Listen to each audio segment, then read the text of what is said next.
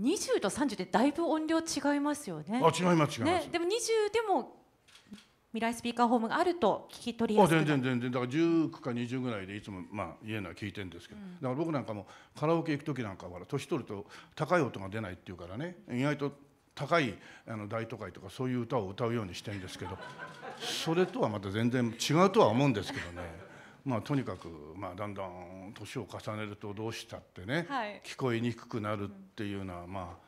仕方はないんじゃないでしょうかね。まあね全然あの見た目はお若くいらっしゃいますけれども、はいはい、ねえ本当にねそういう意味なんで。はい、あのー撮影時のスタッフのお話から聞いた,、聞いたところなんですけど、はい。あのまあ今日のようにアドリブがとにかく高田さん素晴らしくって、CM はだいたい5秒から15秒の勝負じゃないですか、まあ、その中に要素を凝縮して、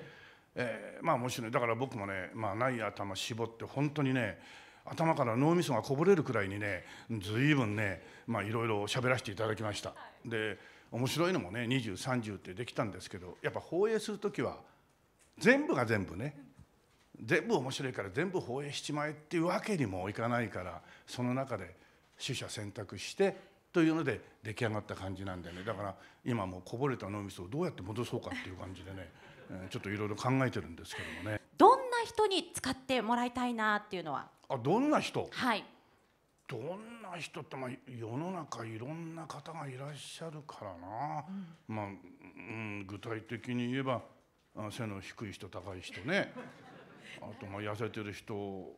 うん、太ってる人あとまあ根性のいい人悪い人いろんな方がね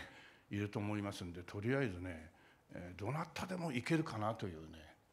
感じがしますね、えまあ、最初その話を聞いた時なんか私のために作ってくれたんじゃないかなっていうね